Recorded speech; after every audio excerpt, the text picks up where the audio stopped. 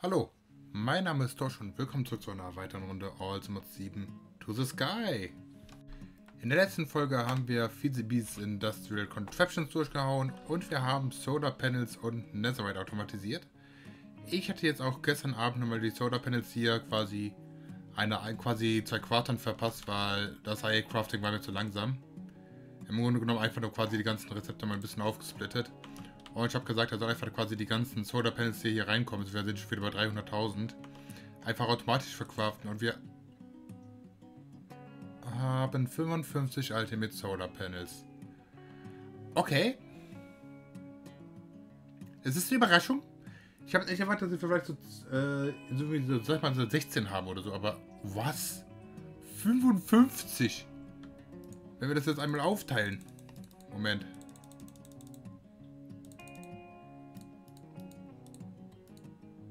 Hey, mach's richtig. Aber ich brauche dringend eine Maus, fängt an zu doppelklicken. So, machen wir eben so. Wir haben 13 Solar Panels fürs, für, den, für die Ultimate Stars und wir haben 42 Stück, die jeweils 262.000 Elf pro Tick generieren. Ja. Ja, das ist so, wir werden jetzt sofort wieder reingeschickt, oder? Ja, komm. Das ist aber richtig gut. So, heute würde ich ganz gerne noch mal ein bisschen was automatisieren, wer es erwartet. Und zwar machen, schauen wir nochmal den Philosophers Fuel an. Wir könnten jetzt quasi fast alles von den 13 Stück craften. Es fehlt nur eine einzige Ressource. Antimatter. Wie kriegen wir Antimatter? Und haben die schon Antimatter? Ja und nein, Antimatter haben wir zwar, aber die von Industrial Contraptions. Die ist leider nicht unifiziert, sonst wäre das wesentlich einfacher. Schauen wir uns doch mal den Weg für Antimatter von äh, Mechanism an. Wir haben dieses hier. Dafür brauchen wir flüssiges Antimatter 1000 Millibuckets. Schauen wir uns auch mal an. Wir brauchen einen Supercritical Phase Shifter. Da ist das erste Problem. Wir brauchen Polonium. Polonium ist Nuclear Waste. Das heißt, das brauchen wir. Und Nuclear Waste kriegen wir, wird erwartet, in einem Reaktor. Also bauen wir uns heute einen Fischenreaktor auf. Dafür brauchen wir aber... Ich wollte schon was sagen. Wir brauchen eigentlich Wasser. Ich schätze mal, das wird hier wieder durchgehen bis zum geht nicht mehr. Da, da war es doch. Und wir brauchen Fissile Fuel. Wie kriegen wir Fissile Fuel her? Fissile Fuel ist in einem Isotopic Centrifuge. Uranium Hexafluorid. Wie kriegen wir das jetzt hergestellt? Das ist wesentlich einfacher, als es aussieht. Wir brauchen Uraniumoxid, das ist Yellowcake Uranium und das ist einfach ein Uranium Ingot in der Enrichment Chamber. Das kriegen wir locker hin. Damit haben wir die eine Komponente. Das andere ist Hydrofluoric Acid. Dafür brauchen wir in der Chemical Dissolution Chamber Fluorid mit Sulfuric Acid. Haben wir eigentlich auch schon. Dann würde ich sagen, gehen wir die Sachen doch mal an. So, das ist quasi das gesamte Setup. Erstmal in klein. Ich bin gespannt, was das ausreichen wird. Und zwar haben wir hier die Enriching Factory, die gerade Uranium into, zu Yellowcake Uranium macht. Das Ganze wird dann im Chemical Oxidizer zu Uranium Hexafluorid gemacht. Äh, Uraniumoxid. Und wir haben hier die Seite, da kommt Sulfuric Acid und Fluorid rein und das wird automatisch verarbeitet zu Hydrofluoric Acid. Der Infuser verbindet beides dann zu... Wo haben wir es? Uranium Hexafluorid und wandelt das Ganze um in Fissile Fuel. Ich bin mal gespannt, ob das reichen wird. Weil zu Sulfuric Acid haben wir auf jeden Fall noch genug. Wir haben 1,4 Millionen und es steigt noch weiterhin an. Das Einzige, was ich mir vorstellen könnte, ist, dass wir vielleicht die andere Seite noch mal ein bisschen erhöhen müssen. Quasi hier noch mal ein paar Chemical Oxidizer dran packen. Aber ich glaube, das wäre nicht das Thema. So. Jetzt müssen wir nur noch den Reaktor aufbauen. Und ich würde schauen, dass wir den hier hinten hinpacken dann quasi, dass ich vielleicht hier drun oben drunter, ich weiß nicht genau wohin, ein Quantum Entangloporter mache, also quasi den Tesseract von Mechanism, der das Ganze da reinschickt. Und ich wollte mal schauen, ich bin mir nicht sicher, der Reaktor wandelt ja quasi Fissile Fuel in Steam und in Nuclear Waste um. So, hier haben wir jetzt mal das erste Nervige. Wir fangen an mit Radioaktivität zu arbeiten. Ja, das kann mal schnell in die Hose gehen. Erstmal würde ich gucken, dass ich quasi den Steam auffange, der, beziehungsweise ganz kurzzeitig speichert. Der soll sofort in Turbinen reingehen. Dass wir einfach mal ein bisschen Energie rauskriegen. Ihr wisst, ich bin Mensch, der gerne mehr Energie hat als alles andere. Der Nuclear Waste werden wir dann einmal umwandeln in Plutonium und in Polonium. Polonium müssen wir noch ein bisschen was machen. Wir brauchen diese HDPE-Sheets. Aber beides brauchen wir. Wofür brauchen wir beides? Plutonium brauchen wir für Plutonium-Pellets. Was sind diese Pellets? Die Pellets brauchen wir fürs SPS-Casing. Also fürs Supercritical Phase Shifter. Ja. Wofür brauchen wir das andere? Polonium. Polonium brauchen wir einmal generell für den Supercritical Phase Shifter. Wir brauchen 1000 Millibuckets für einen Millibucket Antimatter. Und äh, das ist eine sehr teure Maschine, was Energie angeht. Das, darauf arbeite ich quasi die ganze Zeit hin, dass wir so schnellstmöglich Antimatter kriegen, wie es geht. Denn die Maschine, um ein Millibucket pro Tick zu herzustellen, braucht die 1 Gigajoule pro Tick. Ja. Ich schaue jetzt mal hier rein. Mittlerweile ist es komplett aufgefüllt und wir haben 243 Terajoule. Aber wir haben einen Input von 8 Megajoule. Ich habe die Solar Panels jetzt noch nicht angeschlossen. Ich will die quasi... Ich weiß noch nicht, wo ich es mache. Vielleicht mache ich das direkt hier nebenhin, so eine schöne Fläche. Aber wir brauchen Energie. Wir werden dafür auf jeden Fall Energie brauchen. So viel wie möglich. Gut. Ich installiere jetzt mal quasi alles für einen Reaktor und wir sehen uns dann gleich wieder. So, hier haben wir den formschönen äh, Fischenreaktor. Ich habe jetzt noch einen letzten Block, der fehlt, und zwar hier. Jawollo. Im Grunde genommen ist das quasi die Fuel Rods in der Mitte, oben drauf so Assembly und mehrere IO-Pods. Und zwar habe ich jetzt einmal gesagt, hier machen wir Input, Output Coolant. Ah, ich muss noch einen einfach Waste machen. Äh, ja gut, das kriegen wir noch hin. Ah ne, die können ja alle auf Input bleiben. Hier soll Wasser reinkommen. Dann, da, da, da, wir brauchen einen Input für... Wobei, dann machen wir das ganz einfach. Dann sagen wir hier Output Faced. Und dann müsste hier eigentlich nur noch, machen wir so, den setzen wir auf Fissile Fuel. Und einmal, das müsste wieder ein Gas sein. Nicht? Äh, Gases. Ich schau mal kurz. So, ich habe jetzt hier den Reaktor komplett angeschlossen. Plus, ich habe hier eine Turbine aufgebaut. Ganz ehrlich gesagt, wir wissen, wie die Turbine aufgebaut wird. Schaut, fragt mich bitte nicht. Ich habe jetzt auch schon wieder siebenmal gefühlt falsch gebaut. Turbine kriege ich gefühlt nie beim ersten Mal hin. So, aber quasi Steam kommt hier sofort rüber. Das verwerten wir auch alles in Energie. Und das ganze Abfallprodukt, beziehungsweise der Nuclear Waste, kommt erst halt hier in den Chemical Tank. Beziehungsweise der Rest auch noch hier in die Pressurized Tube rein. Hauptsache, wir haben jetzt erstmal gespeichert. Ah, ich hab, bin gespannt, wie sehr wir den skalieren können. Wir aktivieren es das erste Mal. Wir haben jetzt gerade nur eine leichte Burn Rate von 0,1 Millibucket. Oh,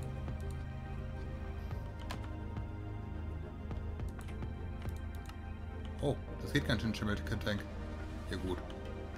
Aber die Turbine dreht sich so langsam schon mal ein bisschen und wir produzieren schon mal 4 Kilojoule.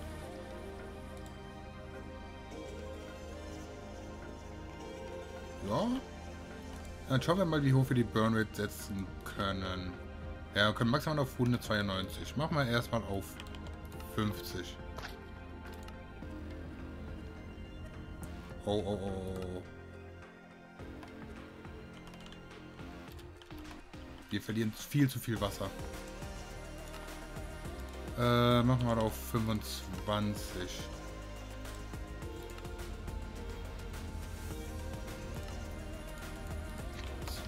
Zwanzig? Okay. Ich guck mal, dass ich noch ein bisschen Wasser da reinkriege.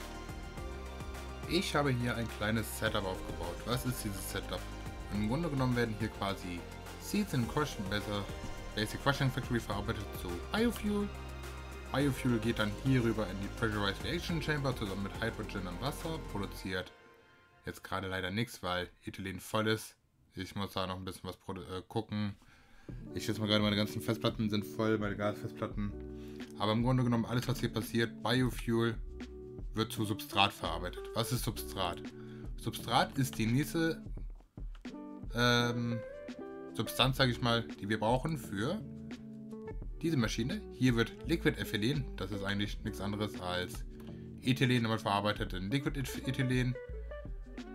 Und das brauchen wir für HDPE Pellets. Von diesen haben wir jetzt ein paar mittlerweile auch schon angesammelt. Und zwar, wenn wir jetzt einfach mal hier reinschauen, wir haben stolze 80.000. Das sollte auf jeden Fall für eine längere Zeit reichen. Unser Reaktor und unsere Turbine laufen mittlerweile relativ gut. Wir produzieren hiermit schön quasi einfach nebenbei, dafür, dass er noch nicht mal wirklich optimiert ist, 5,8 Megajoule pro Tick, also not bad. Aber wir müssen noch was mit dem Abfall vom Reaktor machen. Das habe ich jetzt schon hier aufgebaut.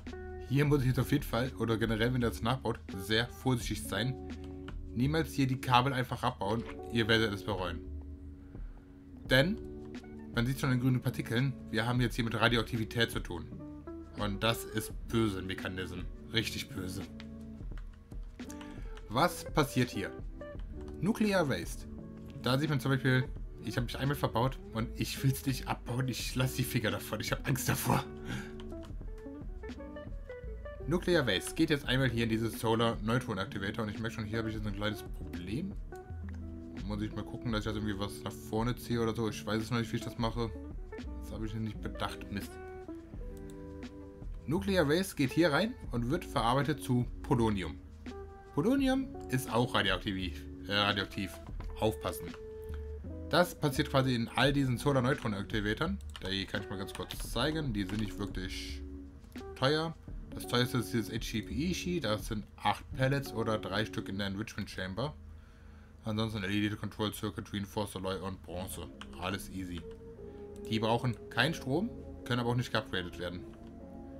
So, das Polonium geht dann rüber in diese Pressurized Reaction Chamber. Die hat jetzt kein Upgrade drin, bewusst.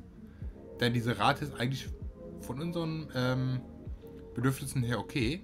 Einzige, was ich machen könnte, wäre Energy Upgrades, aber pff, das sind 5 Joule pro Tick, beziehungsweise 2 Fe pro Tick. Die habe ich noch. Polonium geht hier zusammen mit Wasser und Fluorid, das, das ist einfach nur mal Fluorid im Crusher, hier durch und wir produzieren Polonium Pellets, aber auch, man hat es ganz kurz gesehen, Spent Nuclear Waste. Was ist das? Spent Nuclear Waste, man hört man vielleicht meine Maus gerade klicken, kann nur hergestellt werden, hat aber keinen Nutzen. Das ist Abfall.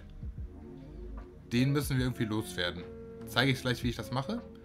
Die andere Seite ist einmal so eine Isotopic Centrifuge. Hier kommt auch Nuclear Waste rein und wird in Plutonium umgewandelt. Ähnliches Setup, Plutonium, Wasser, Plutonium, äh, Fluoridas werden zu Plutonium-Pellets. Von denen habe ich jetzt einiges schon gesammelt. Einmal 515 Polonium-Pellets und 520 Plutonium-Pellets. Die sind sehr radioaktiv. Die kann man aber ohne Probleme an, anpacken.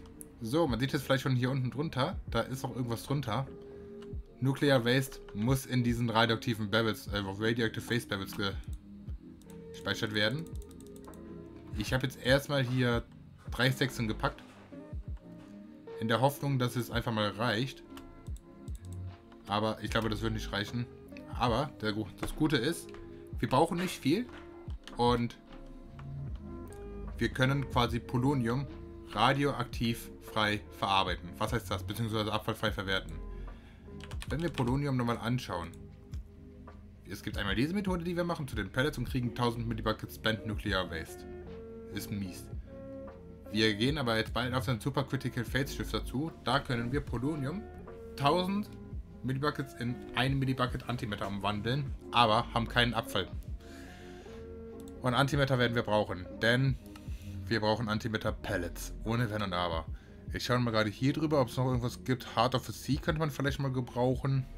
Aber glaube ich jetzt auch nicht so wirklich, dass wir das auch brauchen. Das ist quasi so ein bisschen das neue Yu-Gi-Oh! Meta von ähm, Mechanism. Aber so richtig sehe ich jetzt hier nicht wirklich was, wo ich sagen würde, jo, das brauchen wir auf jeden Fall. Ein Antimeter meinen Bogen in einen Crossbow zu wandeln. Wer sich das ausgedacht hatte, der gehört gefeuert. Bin ich ganz ehrlich. Ja, da ist nichts so wirklich bei.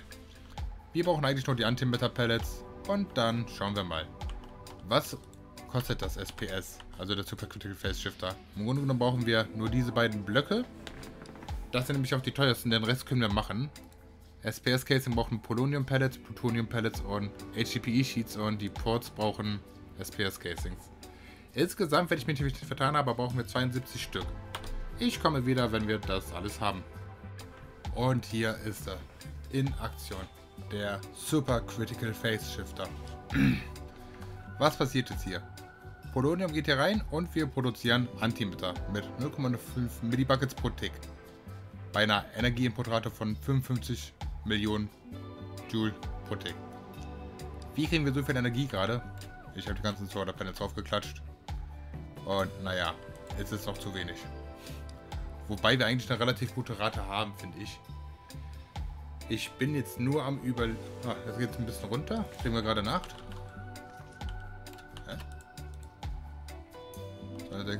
Ja, es ist einfach nur generell. Hier ist gerade gesunken, weil es der Energievorrat aufgebraucht ist. Okay. Ich bin überlegen, ob ich jetzt einfach noch einen Flux Point dran klatschen soll. Ich mach's jetzt einfach. Warum nicht? Machen wir einfach mal. Hier. Boop. Output. Komm. Bypass Limit. Was kann schon schief gehen?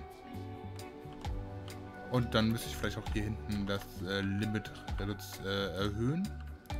Machen wir jetzt einfach mal auf 5 Millionen. Wir müssen eigentlich immer noch reinkriegen. Wir haben einen Input von 14 Millionen gerade. Komm, dann erhöhen wir mal auf 7 Millionen. Das dürfte... Oh ja, langsam merkt man den Deck ein bisschen. Ja, es ist jetzt noch nicht optimal, aber wir kriegen so circa pro Sekunde... Sagen wir, alle 2-3 Sekunden kriegen wir einen Millibucket. Ja, wobei, es ist pro Sekunde. Das ist jetzt gar nicht mal so schlecht, bin ich ehrlich. Alles, was wir jetzt mit diesem Antimatter machen, wir brauchen einfach nur noch einen Chemical Crystallizer. Den können wir mal schnell craften. Habe ich vielleicht was? Ich habe so eine welche. Ich habe so viele Crystal.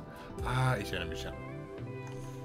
Im Grunde genommen machen wir das einfach nur noch so, dass wir dann hier den Crystallizer hinpacken. Hier eine Leitung hinpacken. Sagen dann hier raus, Output und Antimeter hier rein. Im Grunde genommen können wir eigentlich auch sagen, wir machen Input, Output, Eject und packen dann da einfach einen Draw hin und lassen das Ganze laufen. Das dürfte dann eigentlich schon alles gewesen sein. So, wie man jetzt merkt, das dauert seine Zeit lang. Wir brauchen 1000 Millibuckets. Ja, ich hätte das vielleicht ein bisschen früher aufsetzen sollen, aber ich glaube, im Notfall kann ich unsere ganze Energieversorgung einfach hier reindenken und gib ihm. Weil das ist einfach nur noch gerade ein kompletter Stromfresser. Aber ja. Wir haben dann einfach genug Zeit, um uns einfach um andere Sachen der Automatisierung zu kümmern. Denn im Grunde genommen fehlt nicht mehr wirklich viel den All the Mods da. Wir schauen uns das Ganze einfach mal an, wenn wir einen craften wollen. Wir brauchen noch Golden Dragon Scales, das kann ich relativ schnell fertig machen. Charm of Wizard 2, Charm of Knowledge 2, Patrick Star, das können wir noch, das kriegen wir hin. Dragonstone, Botania werden wir machen. Endstone Block mal 4, gar kein Thema. Glyph of Wizard, das ist etwas, was ich einfach so machen werde. Dark Soul, haben wir quasi auch schon fast alles zusammen. Snow Queen Trophy, das wird noch ein bisschen eklig. Bronze Nuggets, pff, okay. Eternal Obsidian Skull, da muss ich mal schauen, wie der gemacht wird. Genau wie beim Empty Soldier, mit dem habe ich auch noch nie gearbeitet. Playblock mal 4 ist kein Thema. Rune of Summer, Rune of Sloth. Es ist noch viel Botania. Blackstone Block mal 4, Rune of Wrath. Antimatter Pellets werden jetzt produziert. Nukes muss ich noch das machen. Und ein Master Infusion Crystal. Und im Grunde genommen. Netherrack Block mal 4 und mal wieder eine Rune. Ein Arcane Dragon Egg, Platinum Blöcke. Wir haben fast alles. Wir können bald unseren ersten Also Monster machen.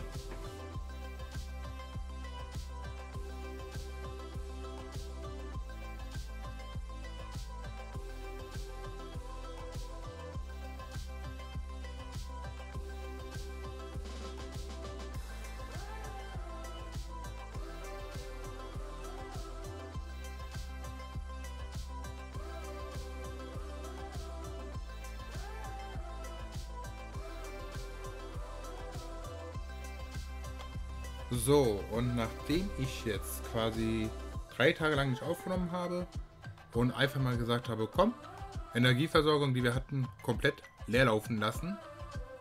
Also ich habe wirklich äh, kom komplettes Maximum reingeballert, was ging. Wir haben ca. 2 Millibuckets pro Tick gemacht. Und naja, unsere Energieversorgung hat gut darunter gelitten. Also ich hatte kurzzeitig jetzt mal ausgeschaltet Nacht laufen lassen. Wir sind jetzt wieder bei 217.000 und es rutscht immer noch runter. Also wir machen immer noch Minus gerade, aber ich habe den Reaktor jetzt ausgeschaltet. Wir kriegen jetzt quasi kein neue Nuclear Waste mehr rein. Wir lassen das jetzt leer laufen, wir lassen das jetzt leer laufen. Wir haben eindeutig genug Polonium-Pellets. Wir haben 14.000. Plutonium haben wir 22.000. Plus 154 Antimatter. Das lassen wir jetzt mal durchlaufen. Beziehungsweise das haue ich jetzt schon mal ins System rein. Mehr brauchen wir auch nicht. Äh, wenn das jetzt hier leer ist, beziehungsweise hier die Leitung leer ist. Ich habe ja auch nochmal erweitert gehabt, weil wir kurzzeitig zu viel Nuclear Waste produziert hatten. Ja. Ich würde sagen, wenn euch die Folge gefallen hat, lasst einen Daumen nach oben da. Wenn ihr nichts verpassen wollt, drückt auf den Abonnieren-Button und die Glocke nicht vergessen, ganz wichtig. Und dann würde ich sagen, sehen wir uns beim nächsten Mal. Bis dahin, tschüss.